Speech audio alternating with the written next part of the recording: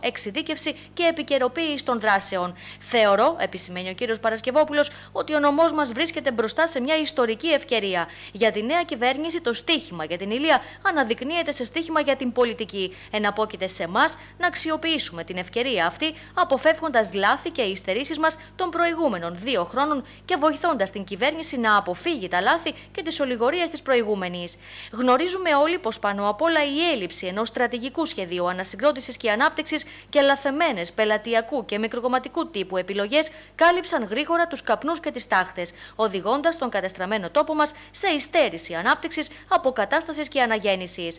Για την Ηλία, τελειώνει ο κύριος Παρασκευόπουλος, δεν υπάρχουν περιθώρια να χαθεί ούτε μία ώρα. Ολοκληρωμένο πρόγραμμα. Έχουμε πολιτική βούληση επίσης. Απαιτείται η κοινή συμφωνία για την ιεράρχηση των μεγάλων προτεραιοτήτων, των μεγάλων έργων υποδομής που θα γυρίσουν τη σελίδα για τον νομό. Με πρωτοβουλία του νομάρχη θα πρέπει να συγκληθεί άμεσα σύσκεψη των θεσμικών εκπροσώπων του νομού και οργανωμένες συζητήσεις για το σύμφωνο με τις προτεραιότητες και τα έργα υποδομής για τον νομό Ηλίας, των οποίων θα διεκδικήσουμε την ένταξη στο ολοκληρωμένο πρόγραμμα ανασυγκρότησης και την άμεση εξαγγελία και δρομολόγησή τους. Συνεχίζοντας, ο κ. Παρασκευόπουλος αναφέρεται στην επιστολή του στα μεγάλα έργα υποδομής που θα πρέπει να δρομολογηθούν, όπως η ολοκληρωμένη διαχείριση των στερεών αλλά και των υγρών αποβλήτων, η επέκταση των υποδομών στο λιμάνι του Κατακόλου, η εξαγγελία και η ολοκλήρωση των υποδομών για το αυτόνομο ΤΕΙ της Ηλίας με άμεση επίλυση του στεγαστικού προβλήματος του ΤΕΙ Πύργου, η εξαγγελία ίδρυσης και άμεση έναρξη των διαδικασιών για πανεπιστημιακές σχολές, ο εξυγχρονισμός και η αναβάθμιση του σιδηροδρομικού δικτύου στην Ηλία,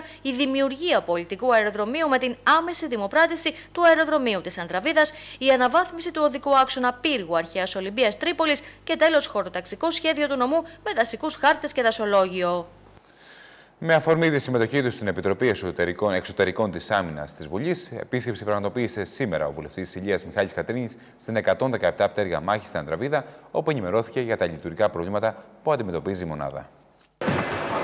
Μάλιστα εδώ είναι το αεροπορικό, είναι και το αεροδρόμιο Αντραβίδος, είναι δηλαδή αεροπορική βάση Αντραβίδος και αυτό είναι και το κέντρο αεροπορικής τακτικής, το οποίο έχει το σχολείο μετακτικής κάτω από αυτό, σαν επίσης έχει και άλλα σχολεία, όπου εκπαιδεύονται όλοι οι πιλότοι, είναι ένα προχωρημένο στάδιο εκπαίδευσης. Επίσκεψη στην 117 πτέρυγα μάχη στην Ανδραβίδα πραγματοποίησε το πρωί της Δευτέρας ο βουλευτής του Πασόκ Ηλίας Μιχάλης Κατρίνης με αφορμή την συμμετοχή του στην Επιτροπή Εξωτερικών και Άμυνας της Βουλής. Ο κύριος Κατρίνης συναντήθηκε με το σμιναγό υπτάμενο διοικητή της 117 πτέρυγας μάχης Βασίλη Βρετό, όπου συζήτησαν για τα λειτουργικά προβλήματα της μονάδας και το ρόλο που θα πρέπει να διαδραματίζουν οι ένοπλες δυνάμεις στην καθημερινότητά μας. Ε, Συμμετέχοντας στην Επιτροπή Εξωτερικών και Άμυνας της Βουλής ε, για πρώτη φορά, ε, θεώρησα αποχρέωσή μου να ξεκινήσω την, ε, την ενημέρωσή μου από την 117 πτέρυγα μάχης εδώ στην Αδραβίδα. Ε, γνωρίζουμε όλη την νευραλγική, την ουσιαστική ε, θέση και τη σημασία αυτής της μονάδας για την επιχειρησιακή ετοιμότητα της χώρας μας. Βεβαίως σήμερα ένοπλες δυνάμεις ε, δεν συμβάλλουν μόνο στην ε, πολεμική επιχειρησιακή ετοιμότητα γιατί ευτυχώς οι διεθνείς οργανισμοί και οι διεθνείς συνθήκες και το νέο κλίμα που υπάρχει με την παγκοσμιοποίηση τους, ε, την Ευρωπαϊκή Ένωση δεν επιτρέπει τέτοιου είδους σειράξεις. Παρ' όλα αυτά πρέπει να είμαστε πάντα σε μια ετοιμότητα αλλά συζητήσαμε με τον κύριο Διοικητή τα ζητήματα που αφορούν ε, τα λειτουργικά προβλήματα της ε, μονάδας και βεβαίως ε, και ό,τι έχει σχέση και με την λειτουργία του αεροδρομίου, το οποίο βέβαια δεν αφορά το Υπουργείο Εθνικής Άμυνας και τον διοικητή, αφορά εμάς τους ηλίους, αλλά κυρίως για το ρόλο που μπορεί να διαδραματίσει 117 πτέρυγα μάχης σε μια ουσιαστική όσμωση, συνεργασία και συναντήληψη με την ευρύτερη κοινωνία της Ηλίας και ειδικά με την περιοχή της Ανδραβίδας όπου εδράζεται. είναι πραγματικά πολύ ενδιαφέρουσες οι προτάσεις και οι θέσεις του κ. Διοικητή.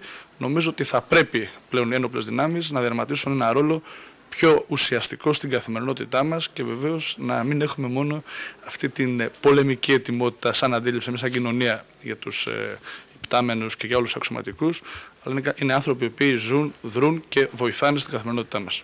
Ο διοικητής κ. Βρετός ευχαρίστησε τον κύριο Κατρίνη για την επίσκεψη και το ενδιαφέρον που έδειξε για τα προβλήματα της μονάδας, ενώ τόνισε πως πέρα από το κύριο έργο της μονάδας που είναι η αποτροπή, η πτέρυγα συμβάλλει σημαντικά στην οικονομική και πολιτιστική ανάπτυξη της χώρας. Είναι τιμή και ιδιαίτερη, ε, ιδιαίτερη τιμή για την 117 πτέρυγα μάχης και για μένα τον ίδιο σαν διοικητή της, που υποδεχόμαστε τον κύριο Κατρίνη στη μονάδα. Όχι μόνο σαν εκπρόσωπο του ε, της Επιτροπής Εξωτερικών και Άμυνας της Βουλής, αλλά και σαν ε, ήλιο βουλευτή. Ε, αναλύσαμε τα θέματα τα οποία αφορούν τη μονάδα, βασικά τις προβλήματα, καθώς επίσης και τη συμβολή της γενικότερα στην τοπική κοινωνία. Εγώ θα ήθελα να πω ότι κύριο έργο της μονάδος είναι η συμβολή της στην αποτροπή, γι' αυτό και διατηρούμε τη μέγιστη επιχειρησιακή μας ικανότητα σε πολύ ψηλά επίπεδα, έτσι ώστε να συμβάλλουμε στην αποτροπή. Αποτροπή σημαίνει εκτός του ότι είμαστε ικανοί να ανταπεξέλθουμε σε κάθε πρόκληση, ε, συμβάλλουμε και στην ε, οικονομική και πολιτική, πολιτισμική αναβάθμιση της περιοχής και ολόκληρης της Ελλάδος. Ο κύριος Κατρίνης τόνισε πως σημαντικότατο πρόβλημα της μονάδας, όπως και όλων των μονάδων αεροπορίας, είναι η έλλειψη κληρωτών που δημιουργεί προβλήματα σε θέματα ασφάλειας. Δεν υπάρχουν, ας πούμε, κληρωτοί. Υπάρχει σοβαρό πρόβλημα αυτό. Ναι, είναι γεγονός Δηλαδή, ότι... η μονάδα, η μονάδα όπως και όλες οι μονάδες αεροπορίας πλέον, έχουν σοβαρό πρόβλημα έλλειψης κληρωτών. Είναι γεγονός και ότι έχει αλατωθεί σημαντικά ο αριθμός των κληρωτών. Αυτό μας δημιουργεί κάποια προβλήματα αυτή τη στιγμή, κυρίως σε θέματα ασφάλειας αεροδρομίων και φρούρησης, τα οποία όμως προσπαθούμε να τα επιλύσουμε με διάφορους άλλους τρόπους. Παρ' όλα αυτά, θα συμφωνήσω απόλυτα μαζί σας ότι είναι ένα πρόβλημα το οποίο θα πρέπει να αντιμετωπιστεί με τον οποιοδήποτε δυνατό τρόπο. Τέλος, οι προσλήψεις επαγγελματιών οπλιτών είναι χρήσιμες μεν, όπως τόνισε ο κ. Κατρίνης, αλλά τα λειτουργικά κενά που δημιουργούνται προκαλούν σοβαρή δυσλειτουργία στις μονάδες. Για αγορά ηλεκτρικής συσκευής. Μονόδρομος για καραφλό. Ανεπανάληπτες υπερπροσφορές Οκτωβρίου. Ψυγεία, κουζίνες, πλυντήρια, εντυχιζόμενες συσκευές αλφα ενεργειακής τάξης, έκπτωση έως μείον 25% ή 50 άτοκες δόσεις. Και σε τηλεοράσεις και ηλεκτρονικούς υπολογιστές, τιμές κατώτερες του ίντερνετ. Καραφλός. Πιο φθηνά και πιο καλά πουθενά. Και τα λεφτά στον τόπο σου. Είστε επαγγελματίας και θέλετε τον πιο σύγχρονο εξοπλισμό; Τότε το όνομα σας είναι γνωστό.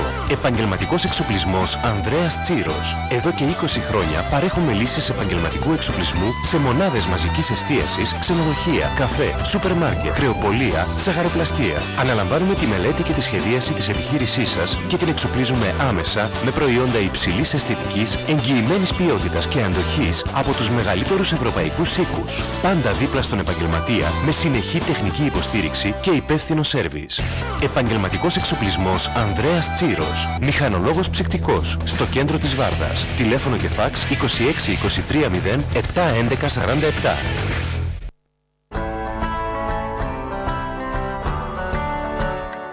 Ο γύρος του κόσμου σε μία χώρα, την Ελλάδα. Τόσοι τόποι διαφορετικοί, τόσο κοντά σου. Αυτό το φθινόπωρο μένουμε Ελλάδα.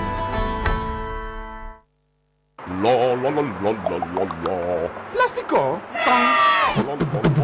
Μέταλλο. Γυαλί. Χάρτη. Αλλά αυτό δεν καταπίνεται. Ανακυκλώστε χάρτινες, γυάλινες, μεταλλικές και πλαστικές συσκευασίες και τίποτα δεν πάει χαμένο. Σύστημα ανακύκλωσης εγκεκριμένο από το ΙΠΕΧΟΔΕ. Από το 1928 είμαστε κοντά στον Έλληνα καταναλωτή και καλύπτουμε βασικές διατροφικές του ανάγκες. Ιλβιγάλ Καλομύρης. Γαλακτοκομικά προϊόντα εγγυημένης ποιότητας που παράγονται στις σύγχρονες εγκαταστάσεις μας με τους αυστηρότερους κανόνες υγιεινής. Ιλβιγάλ Καλομύρης. Παραδοσιακά γιαούρτια όλων των τύπων.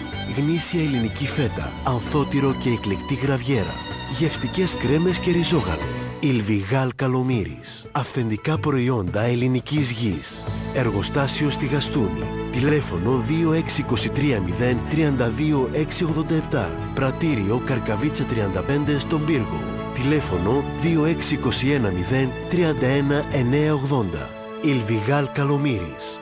Σχέσεις αναλύονται στο χρόνο. Υδροκανάλ, η εταιρεία που έρχεται κοντά σας με αυτοκινούμενα συνεργεία να κατασκευάσει λούκια και υδροροές αλουμινίου όπου και αν βρίσκεται το έργο. Με μεγάλη γκάμα χρωμάτων, πήρα από διεθνές δίκτυο, πιστοποίηση υλικών με ISO 9001, για λούκια και υδροροές Υδροκανάλ. Με μοναδικότητα στην πατέντα που δεν επιτρέπει στα πουλιά να εισβάλλουν στη στέγη. Η Υδροκανάλ, σίγουρη για τα έργα της, παρέχει σε νέους και παλαιούς πελάτες της 10 χρόνια γραπτή εγγύηση και δωρεάν σέρβις αν χρειαστεί. Υδροκανάλ Τσογκλής. Κεντρικό κατάστημα Υψηλάντου και Εθνικής Αντιστάσεως Πύργος. Τηλέφωνο 26210 36660. Σίδηρος ή αλουμίνιο. Όποια και αν είναι η επιλογή σας, Φωτεινόπουλος.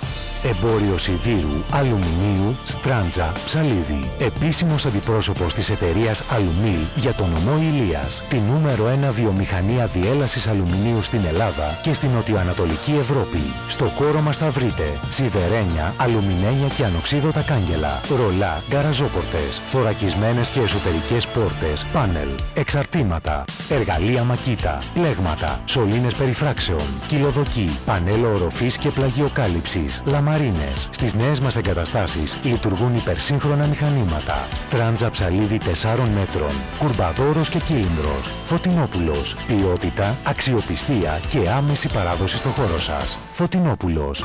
Νέος χώρος 3.500 τετραγωνικών μέτρων. Αγίου Γεωργίου 103. Ανθόπυργος Πύργος. Τηλέφωνο 2621 0 33 178. Φωτεινόπουλος. 78 χρόνια ποιότητα. 78 χρόνια αξιοπιστία. Περιήγηση με επώνυμους κατασκευαστές σε ιδέες αυθεντικές για μπάνιο, κουζίνα, δάπεδο. Δημιουργία διαχρονική. Σιδηρεμπορική ΑΒΕ. Επειδή ο έλεγχος είναι υπεύθυνη δουλειά, εμείς επιστρατεύσαμε την πιο σύγχρονη τεχνολογία. Ιδιωτικό κταίο νομού Ηλίας. Εγγυημένος έλεγχος με ηλεκτρονικό εξοπλισμό τελευταίου τύπου. Άμεση εξυπηρέτηση σε υπερσύγχρονες εγκαταστάσεις και άνετη χώρη αναμονής με τον καφέ σας δωρεάν. Εγκεκριμένο από το Υπουργείο Μεταφορών.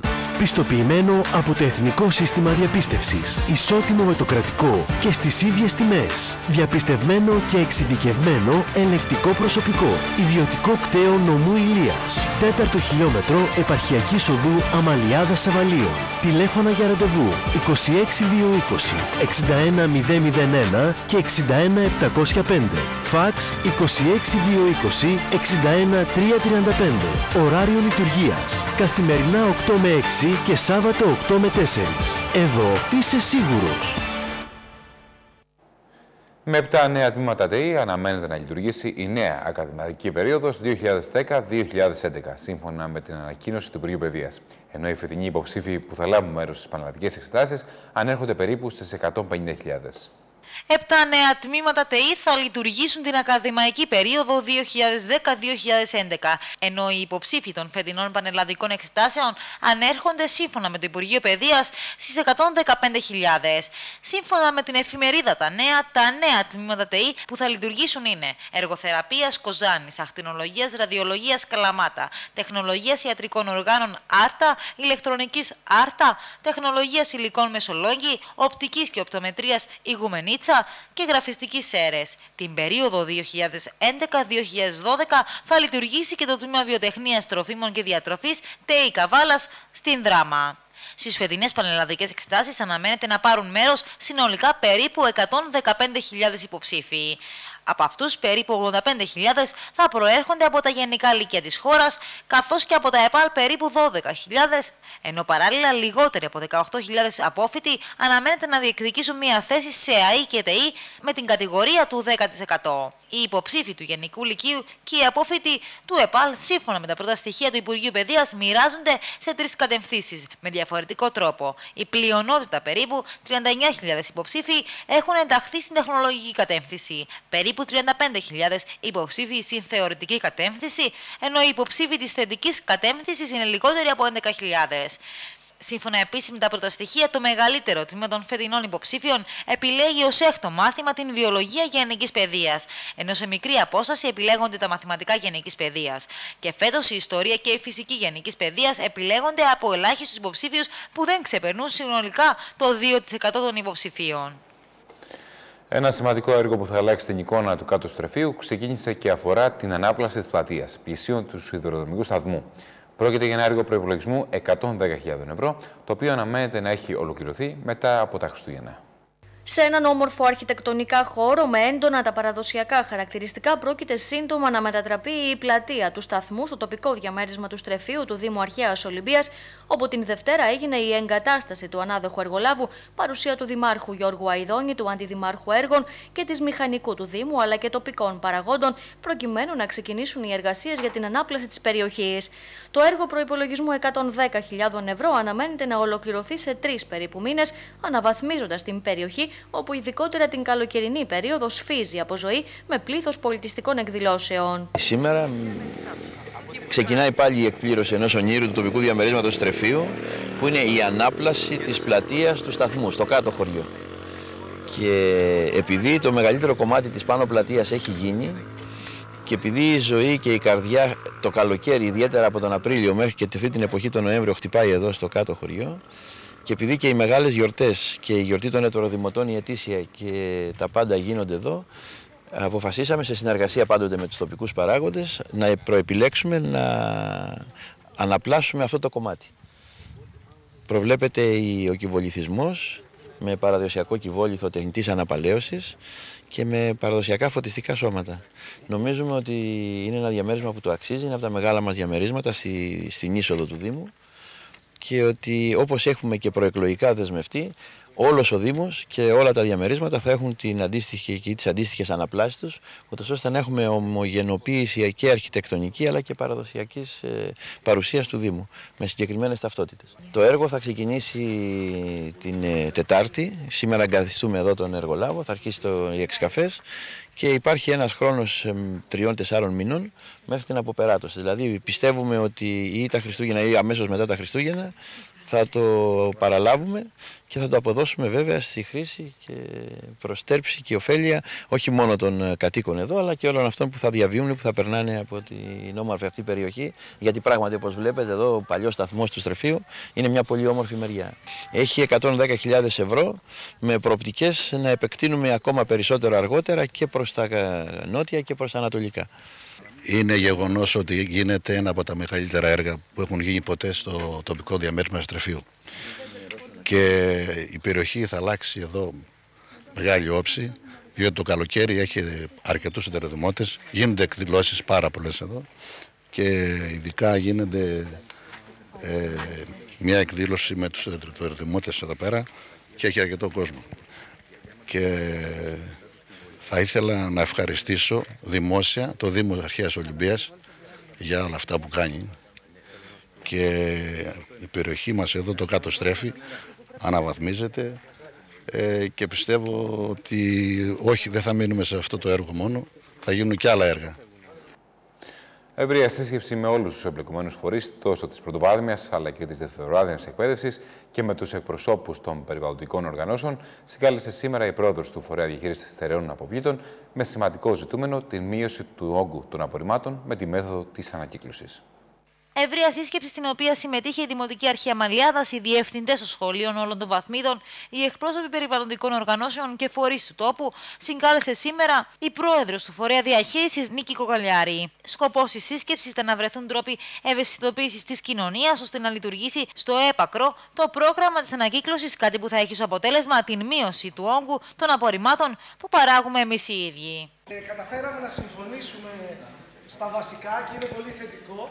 Ε, Όμως, για να μην συμβεί την επόμενη φορά να έρθουμε εδώ με παράπονα πάνω σε αυτά που συμφωνήσαμε, θέλω να πω το εξής: Ότι όταν συμφωνείτε μια συνεργασία, και επειδή η κυρία Κοκαλιά είπε ότι παρεμβάλλεται και μια εταιρεία, καλό είναι να θυμόμαστε όλοι τις υποχρεώσεις των συμβαλωμένων.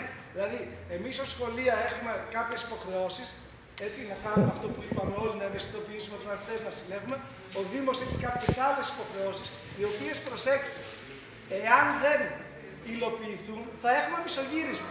Τώρα έλεγε ο κύριος Μπαρίς εδώ, ο, ε, στα πηγαδάκια που κάνουμε εδώ, ε, ότι εάν πούμε στα παιδιά ότι θα έρθουν κάδι και δεν έρθουν, θα απογοητευτούν τα παιδιά, θα πισωγυρίσει όλη αυτή η προσπάθεια. Λοιπόν, Έχοντας υλοποιήσει πολλά, για πολλά χρόνια προγράμματα περιβαλλοντικής, να πούμε ότι η εκπαίδευση για πάρα πολλά χρόνια προσπαθεί να ευαισθητοποιήσει σε αυτό το θέμα. Ε, όμως δεν υπήρχε αντίκρισμα, οπότε πιστεύω ότι μετά από τη σημερινή συνάντηση που έχουμε θα δρομολογηθούν ε, πιο ουσιαστικά τα πράγματα με τοποθέτηση κάδων, με δραστηριότητες και δράσεις διάφορες που θα προτείνουμε και εμείς στη συνέχεια για να υπάρχει πιο θερμή ανταπόκριση γιατί όταν μιλάμε για ανακύκλωση και δεν υπάρχει κάποιος κάδος ας πούμε, που τα παιδιά τα ίδια θα μπορέσουν να βάλουν μέσα τα υλικά, δεν υπάρχει ουσία και αποτέλεσμα. Έτσι, ε, πιστεύω ότι, θέλω να πιστεύω ότι όλα θα πάνε καλά.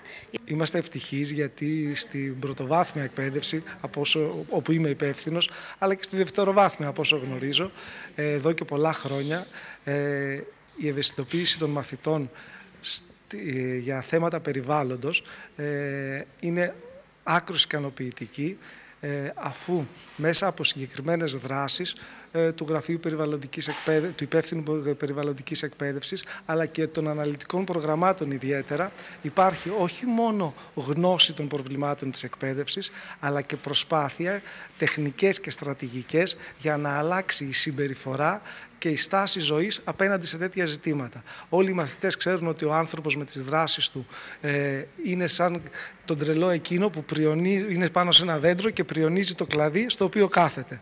Ε, οι συνέπειες θα είναι ε, αρνητικές όσο δεν μπορούμε να φανταστούμε εάν δεν πάρουμε κάποια μέτρα. Ε, Εμείς πιστεύουμε ως σύνδεσμος και ως Δήμος Αμαλιάδας ότι τέλος πάντων ε, για να μπορέσει να έχει επιτυχία το πρόγραμμα της ανακύκλωσης πρέπει να συμμετέχουν η μαθητική κοινότητα και γενικότερα η εκπαιδευτική κοινότητα. Αυτή είναι που θα μεταδώσει την ιδέα της ανακύκλωσης μέσα στην κοινωνία, στην οικογένεια, στους φίλους, στους γνωστούς, για να μπορέσουμε να έχουμε καλύτερα αποτελέσματα. Πιστεύω ότι ήταν μια πολύ καλή σύσκεψη.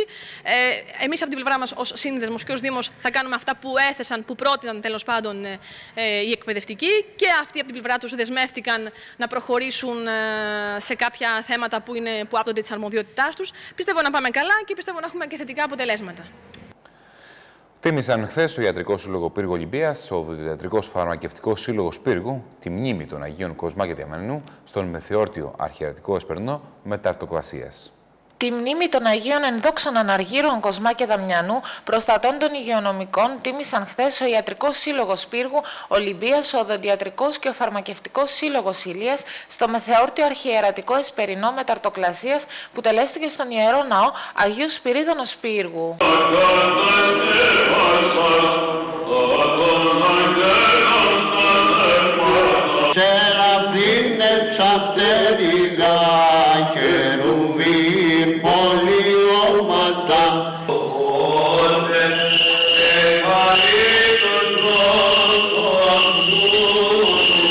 Τον Εσπερινό τέλεσε ο Σεβασμιότατος Μητροπολίτης Ηλίας κ. Κύριος Γερμανός, συνεπικουρούμενος από εφημέρους ενωριών της περιοχής, ενώ στο θείο κήρυγμά του μίλησε στους παριστάμενους όχι μόνο για την προσφορά των δύο Αγίων, αλλά και για το ιερό χρέος που έχουν οι σημερινοί γιατροί προς τους ασθενείς. Αναφέρθηκε στη σχέση της προληπτικής ιατρικής με την Εκκλησία σήμερα, την οποία χαρακτήρισε θεραπευτήριο και μέσω πρόληψης της ασθένειας. Τέλος, ευχήθηκε σε όλους χρόνια πολλά και πάντα υγεία. Η Εκκλησία μας προλαμβάνει τις ασθένειες των ανθρώπων και όταν πέσουν σε αυτές προσπαθεί να τους βοηθήσει η θεραπεία.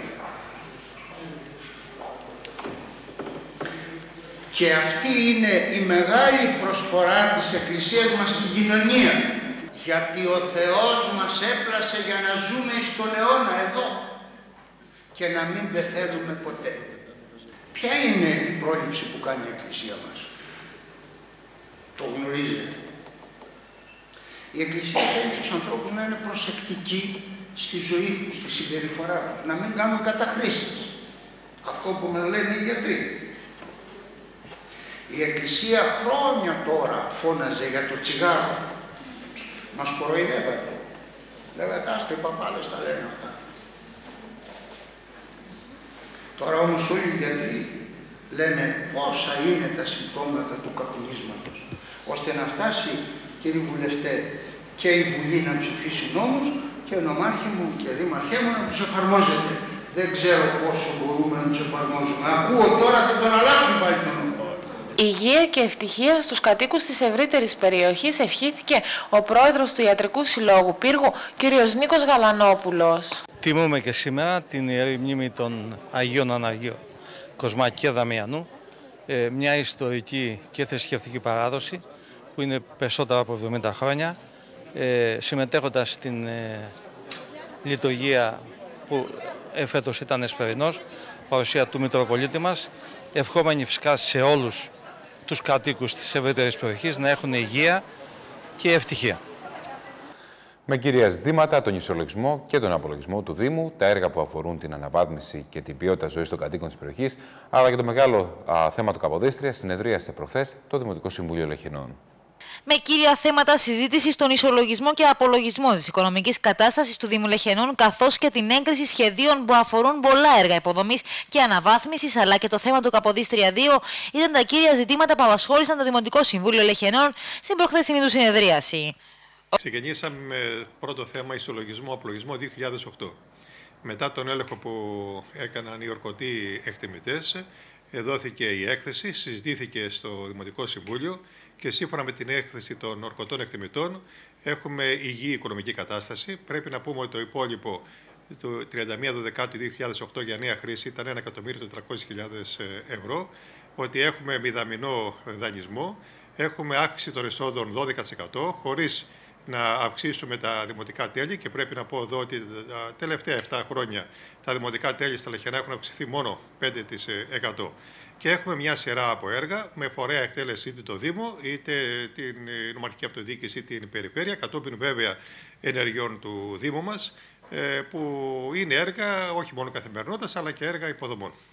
Στη συνέχεια συζητήθηκαν άλλα θέματα στο Διοικητικό Συμβούλιο, όπως η αναμόρφωση προπολογισμού, η έγκριση του σχεδίου μερικής αποσχόλησης για 10 θέσεις, η έγκριση προγραμματικής σύμβασης με την Ομαρχική Αυτοδιοίκηση προκειμένου να γίνει ασφαλτόστρωση ε, προπολογισμού 50.000 ευρώ στο παραλιακό δρόμο της Μερσίνης, η κατανομή πιστώσεων στις σχολικές επιτροπές, η έγκριση της μελέτης του τοπικού ρημοτομικού που είναι απαραίτητο προκειμένου να προχωρήσουμε στην κατασκευή του Γενικού Λυκείου Λεκενών προπολογισμού ε, πάνω από 3 εκατομμύρια ευρώ Επίσης, ε, προβήκαμε σε απόφαση για ρυθμίσεις οφειλετών στο Δήμο και εδώ καλώ τους συμπολίτες οι οποίοι οφείλουν στο Δήμο να έρθουν να κάνουν ρυθμίσεις. Ο κ. Κουλούρης, αναφερόμενος στο θέμα του Καποδίστρια 2, τόνισε ότι οι περισσότεροι Δήμοι του συνδέσμου του Ηλιακού Κάμπου συμφωνούν για την παρούσα κατάσταση του χάρτη και είναι πολύ σωστό όλος ο Ηλιακός Κάμπος να αποτελέσει ένα Δήμο. Ε, στο τέλος έγινε η συζήτηση για το Καποδίστρια 2, μια ενημέρωση. Είναι γνωστό ότι ως σύνδεσμος που λειτουργούμε από τον Απρίλιο του 2007 έχουμε προχωρήσει σε ομόφωνες αποφάσεις στα πέντε δημοτικά συμβούλια ε, Λεχενά, Αντραβίδα, ε, Βαρθολομιό, Κάστρο Κιλίνη και Γαστούνη ε, και είναι υποσυζήτηση ακόμα τα δημοτικά συμβούλια Βουπρασίας και Τραγανού ώστε ο Ηλιακός Κάμπος να ε, γίνει ένας Δήμος Καποδίστρια 2. Ε, ήδη οι προτάσεις του Ινστιτούτου Τοπικής Αυτοδιοίκησης είναι πράγματι ο κάμπος ο Λιακός να αποτελέσει ένα Δήμο με πληθυσμό 46.000 κατοίκους και τα επιχειρηματά μας ε, είναι απλά ότι αποτελούμε μία γεωγραφική ενότητα και είναι ένας Δήμος ο οποίος πράγματι μπορεί να αντιμετωπίσει τα καθημερινά αλλά και να βοηθήσει και στην ανάπτυξη της περιοχής και κατά επέκταση στην ανάπτυξη και στην πρόοδο όλου του νομού. Γι' αυτό λοιπόν ε, δεν θα πρέπει κανείς να σκεφτεί ότι αυτός ο Δήμος θα πρέπει να διασπαστεί. Το αδιαχώρητο δημιουργήθηκε χθες κατά τη διάρκεια των δύο παραστάσεων που δόθηκαν στο Θέατρο Απόλλων με το θείασο βέβαια το Μασίλη Τσιβιλίκα και Στάθη Ψάλτη. Πραγματική μάχη έγινε χτες από το κοινό που θέλησε να παρακολουθήσει την θεατρική κομμωδία επιθεώρηση Πασό Κολλητό με πρωταγωνιστές τον Στάθη Ψάλτη, τον Βασίλη Τσιβιλίκα, τον Κώστα Ευρυπιώτη και αρκετούς ακόμα ηθοποιούς. Κάποιοι από τους θεατές μάλιστα δεν αρνήθηκαν να παρακολουθήσουν την παράσταση όρθη προκειμένου να μην φύγουν άπραγοι από το ιστορικό θέατρο Απόλων του Πύργου, όπου και δόθηκαν οι δύο παραστάσεις. Τόσο μεγάλη ήταν η δίψα του κοινού για θέαμα και γέλιο που το Απόλλων χτες φάνταζε πολύ μικρό για να την ικανοποιήσει. Δεν έλειψαν και κάποια παράπονα βέβαια, αλλά στο τέλος όλοι αποχώρησαν ικανοποιημένοι από αυτό που είδαν επί σκηνής.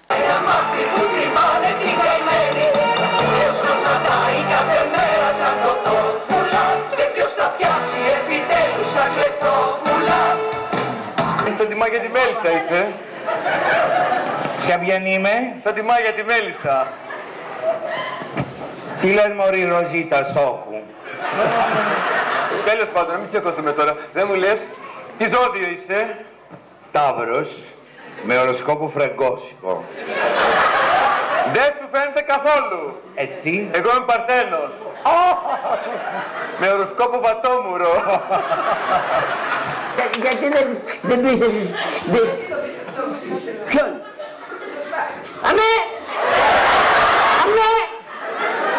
Το βγήκε. Εσύ μωρή χοντρή γιατί δεν το πιέψες.